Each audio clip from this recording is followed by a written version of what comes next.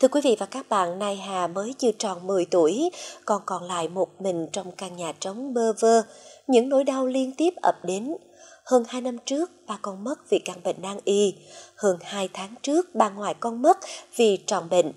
Và ngày vòng tay nhân ái đến, mẹ con mới mất được hơn 2 tuần. Những con số 2 với con thật ám ảnh và nghiệt ngã. Ngay sau khi vòng tay nhân ái chia sẻ, trên hương sang Nai Hà, em nhỏ mồ côi cả cha lẫn mẹ ở thôn Ca Rái, xã Ca Đơn huyện Đơn Dương. Em nhỏ đang bơ vơ giữa những nỗi đau mất mát liên tiếp, đã đón nhận được yêu thương từ tấm lòng các cô, các bác gần xa dành cho con.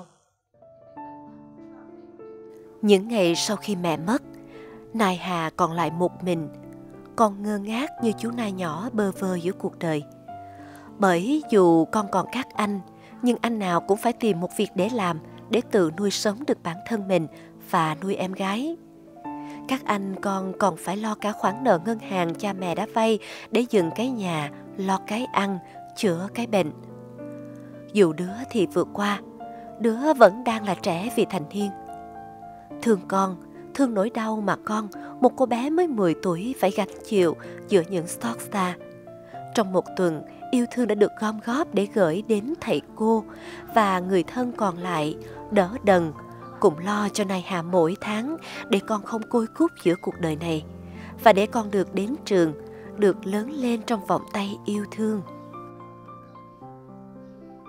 Đối với à, chương trình vòng tay nhân ái à, đã lưu tâm và à, nghĩ tới em à, trong trường hợp em à, à về mặt gia đình khó khăn thứ nhất là về à, cuộc sống thứ hai là về mặt tình cảm trong gia đình. Thì à, à, với món quà như thế thì cũng sẽ à, giúp cho em vững chãi hơn. À, và thông qua chương trình thì cũng rất mong các mạnh thường quân à, sẽ có một cái tình cảm đặc biệt à, đối với em để em cũng có thể à, tự tự lực cũng như là à, có thể vươn lên trong cuộc sống và qua những ngày khó khăn nhất, Nay Hà không chịu rời nhà sang với các dì vì nhớ thương cha mẹ. Giờ đây các dì đã đưa các chị sang ở với con, cho con phơi bớt những tháng ngày lạnh lẽo, đơn côi trong căn nhà trống.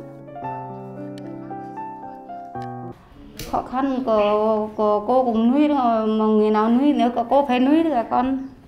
Cô phải nuôi rồi. Đâu có ai nuôi cô phải nuôi rồi nếu mà cô các cô giúp đỡ hàng tháng thì ờ, ờ, cũng cũng mừng các cô. Cũng mừng lắm chứ.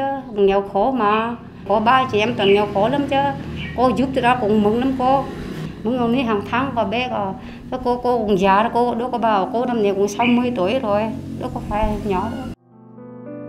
Những bữa cơm lủi thủi một mình một mình trong căn nhà lặng lẽ một mình với những buổi sáng sớm dậy đi học. Buổi trưa, buổi tối về nhà của con sẽ không còn nữa. Mong những mất mát bơ vơ sẽ ngày một vơi đi trong con. Khoảng trống ấy sẽ được thay dần bằng tình yêu thương và đùm bọc của từng trái tim dõi theo con để hai hà sẽ lớn lên trong ấm áp, trưởng thành, bằng ân tình luôn hiện hữu giữa cuộc đời.